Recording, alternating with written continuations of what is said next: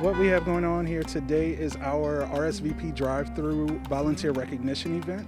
RSVP is uh, the Retired and Senior Volunteer Program.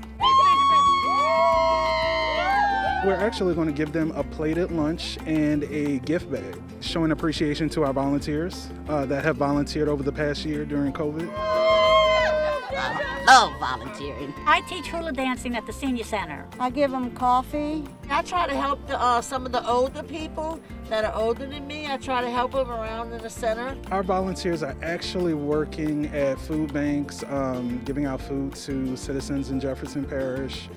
Uh, providing transportation to uh, cancer patients. It's a gorgeous day. We're in Lafreniere Park, and today is about thanking our retired seniors for doing their being involved in our volunteer program. We're so blessed to have seniors who are helping, doing tax prep, working at food banks, um, doing disaster assistance, doing exercise classes, you know, really just sharing their talents and volunteering their times. And we're just here with the drive-through event to say thank you to them for giving their time and making Jefferson Parish even stronger. Thank you so much. Thank you for volunteering. You're welcome. A lot of our uh, community centers actually cannot run without volunteers.